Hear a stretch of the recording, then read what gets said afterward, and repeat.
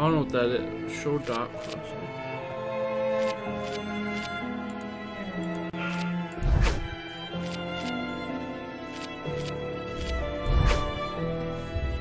Alright. Okay, this seems so really fucking loud.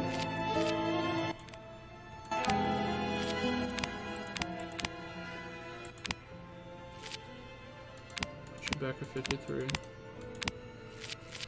There seems fine. Try it. Alright. Let's see how well this goes. There we go. Ready to play this spoopy game. Probably scared the shit out of myself in the meantime. But that's okay. 56 years ago, Russia, the northern Ural Mountains. A group of nine students of the Ural Polytechnic Institute embarked upon a difficult winter expedition to reach the Otorten mountain. Lovely. Their journey seemed to progress according to plan. However, on the seventh day of their trip, the weather conditions worsened.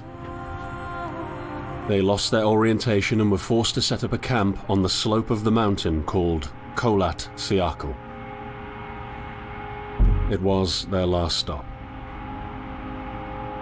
Three weeks later in Yekaterinburg, when their families received no word of their success, the first rescue expeditions were sent.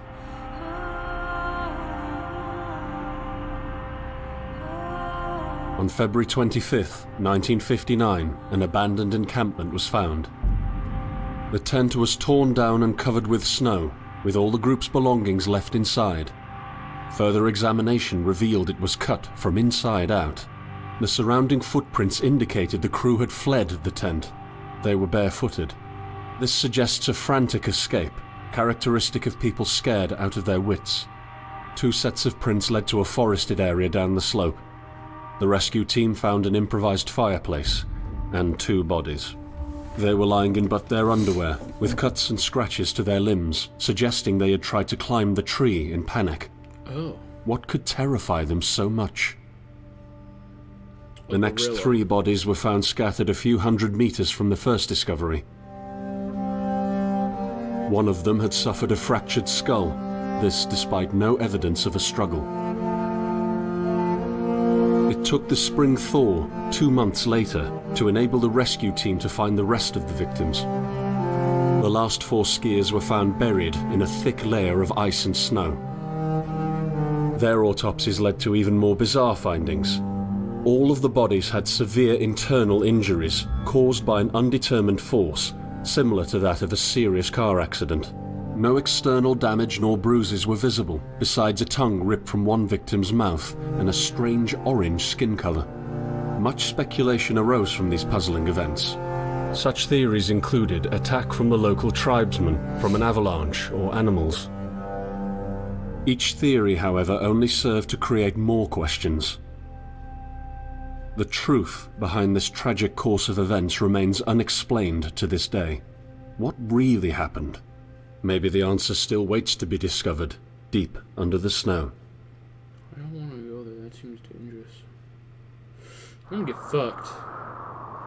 Act one. Alright. Alright, so see. It's not bad, I think. Oh god.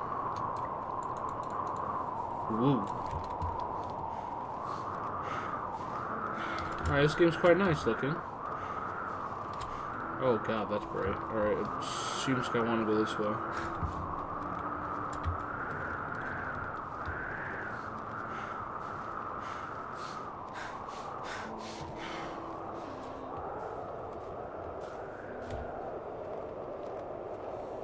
Seems quite fucking cold. I got footsteps even. Great game design.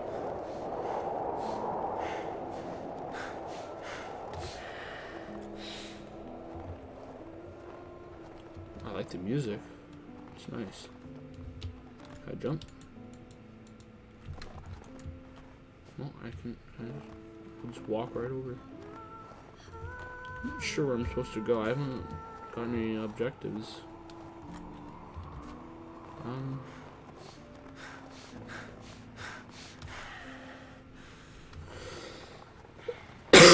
Shit. Oh, okay, so there's a limit.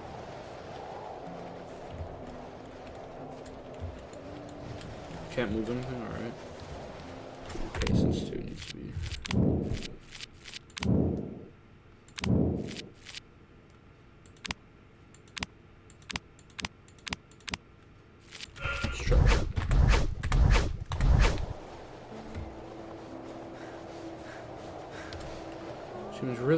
Still.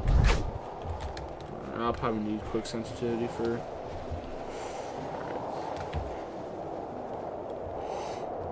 Like I'm going down this path.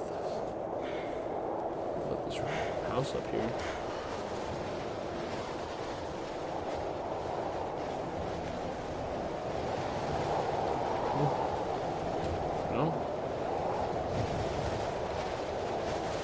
Looking quite dangerous.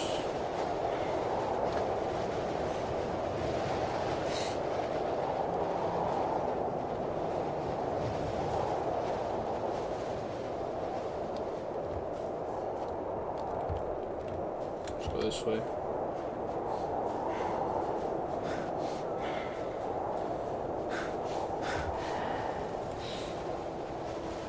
Uh, so I probably should, uh...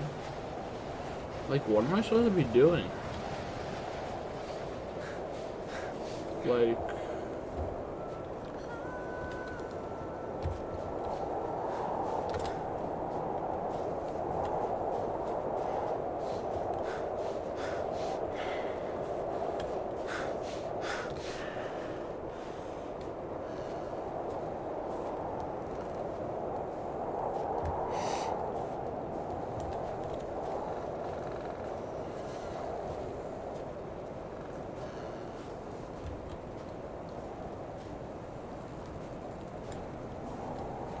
Oh, what the fuck?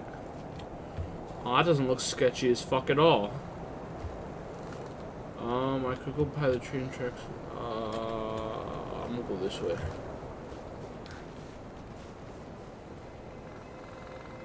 I'm probably supposed to be following these. You're Alright. coming to me. Oh. Who am I? Are you who? Who's what? Wild little footy prints. Got it. What? Footy prints? Why?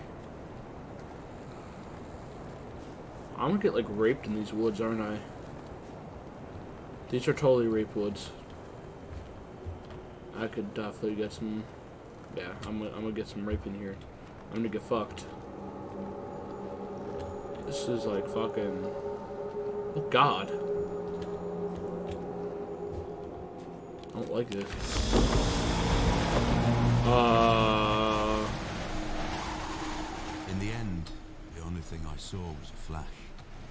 An insufferable burning light. The pain ripping apart my body. Okay. I felt it tearing out of my soul. Oh. After a while, I was nobody. Nothing. Yep. The light went out and I vanished into overwhelming darkness. I can barely fucking see. The light. Oh, light. Ugh.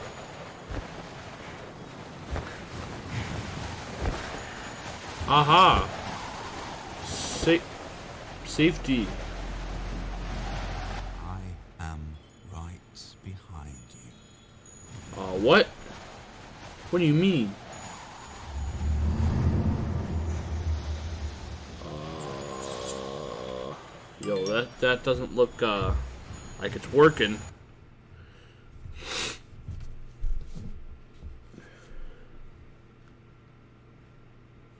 Okay, it'll be marked on the map according to the screen. Okay. So am I like uh, trying to find out what the fuck happened here? Is this like is that my goal? It's probably my goal. I would imagine so. At least I'm out of the fucking rape woods. Act two. Let's go. Have you ever tried to hold on to your humanity Uh, when others convince you of being no more than a subject, an object, which they can bend to their will? ah, sounds like my friends. And they told you that you were a monster that deserved punishment. I wouldn't go that You far. could really not remember your sins. Oh, I have no sense. I'm a Christian boy. ones, leaving you to rot in the dark. Oh. The problem is that in their darkness, you have never been alone. Ooh, red dot up top. Yeah, I see that. Can I move yet? Nope. Oh, no, I can't. Alright, so. It seems very nice in there, though. I kind of want to stay in there. Mm, fuck it, let's follow the footy steps. Press F for survival info. That's. Did it mean E? G? I? No. Q. F. Alright. I said info. I don't know how the flashlight's a fucking... The footsteps have been lost. Where the fuck am I going? I don't want to waste my flashlight. Ooh. I'm gonna touch it. I'm gonna jump in it. The fuck's in... I'm gonna touch it. Press it. I set out the moment I heard about the incident. I was in the area, so I reported to the unit myself to be automatically assigned to the case. I arrived at Vizhai on February the 19th, a couple of days before the Institute's rescue group. While waiting for them, I started asking around to see if anyone from among the locals knew anything about the incident. One of them said he had a hunting cabin in the search region and knew the area very well. I decided to use him as a guide. When the rescue team had finally arrived, I explained to them what the unit's role was in this mission and that all discoveries or observations should be brought to my attention before anyone else's. We established priorities, checked the equipment, and set off right away. It was not until February the 26th we found the tent that I believe belonged to the students. Initial findings show that the people in the tent cut its sidewall and for some reason tried to escape from it in panic. Sorry. The tracks in the snow led to a forest a kilometer and a half away. Jesus. But the trail went cold after 500 meters, and we had to carefully search the entire area. This was not a place of any average incident. We had shivers crawling all over our bodies because of the atmosphere surrounding us. I was convinced that something more than just an accident had occurred here. I had the feeling we were dealing with something unnatural.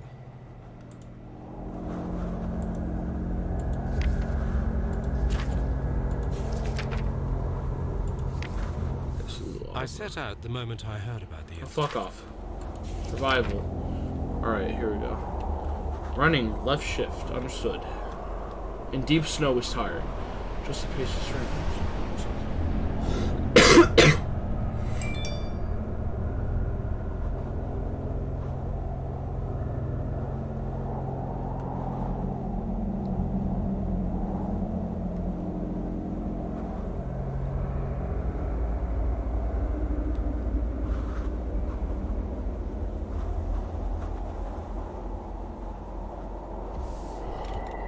Dokie. What?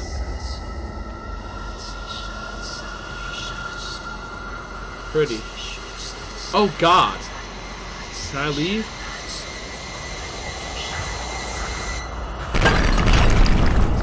Oh. What? What? Oh, yeet. I'm chasing after this motherfucker.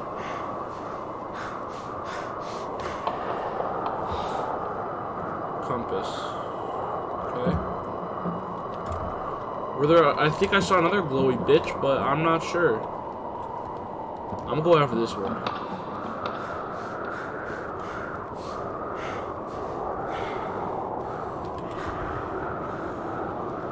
Uh, map.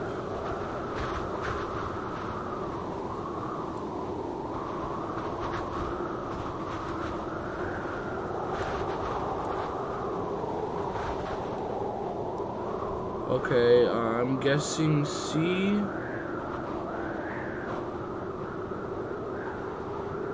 I'm guessing C is camp. Correct?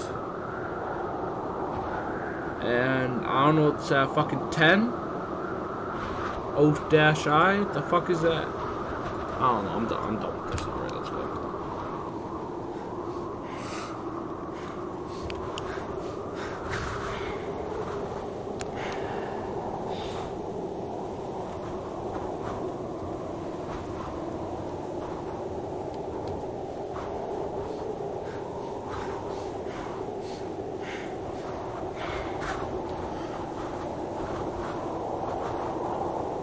Aha! Two ways I can go. Um, white equals right. I've chosen you. Oh, You are remarkable, just like me. But you are losing your mind, my friend. You're slipping Am I? slowly into the abyss, and there is Ooh. no one to give you a hand. cave. And at the bottom, I am the only one waiting for you. Oh, so it was waiting for me. What? What? Okay then. Okay, now I'm in a spooky cave.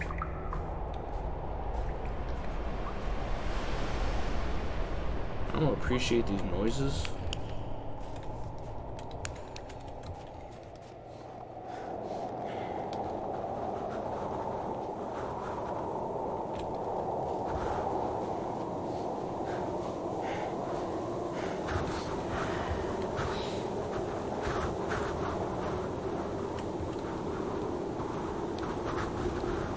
Oh.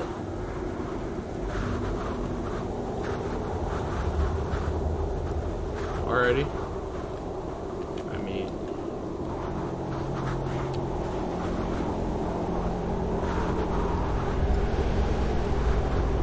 Shit. Oh, what? What? What am I doing? Fuck me.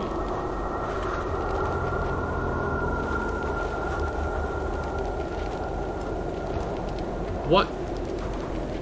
Okay, I guess I cannot go this way. Alright, I'll take that as a no.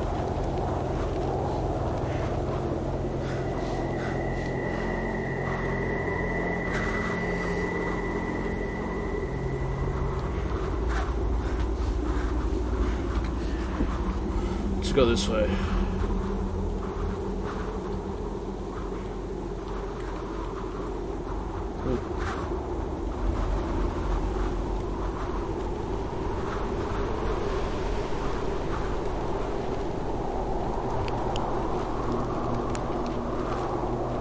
Can't tell if it's laggy or is it just frame rate. I don't know what the fuck's happening.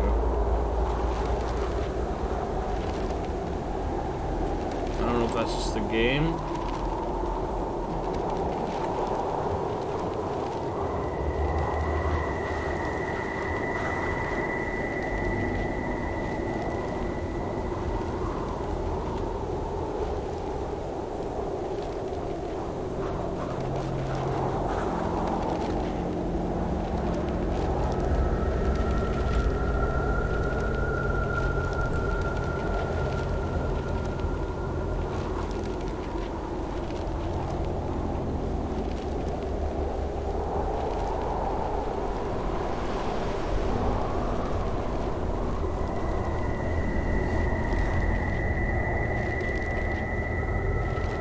Uh, let's go this way.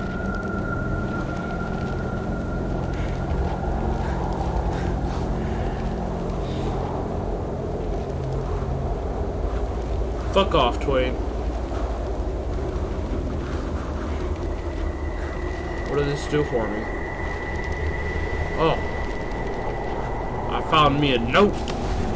We are sitting in room number 23, although sitting might not be the right word because we are running around trying to finish up packing anything else we could need. Uh, food cans, tools, essentially whatever we get our hands on. We want to be sure that we took everything we could possibly need. We're running out of time. Damn it, where did I put my belt? I'm sure we forgot about something. We're almost ready. We lost the knife. We're counting the money. We're leaving the room in a complete mess. So, we made it to the train station. We're singing all the songs we know and making up new ones as well. Everyone is so excited. Finally, at around 3 a.m., we go to bed. I wonder, what is awaiting us when we get there? What will we see? Um, a gorilla. I hear the rest I don't know. breathing peacefully. Gorillas definitely live in this terrain. Gorillas live in this terrain, I'm almost positive. Oh, alright. Uh, this is safe.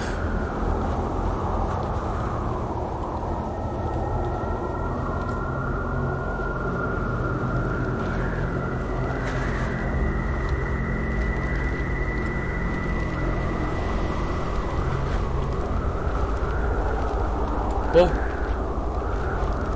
alright, just brought me back over here. Alright. What? Ooh. I need a campsite. Probably soon. Uh, Rapewoods? No. Let's go this way. Open terrain.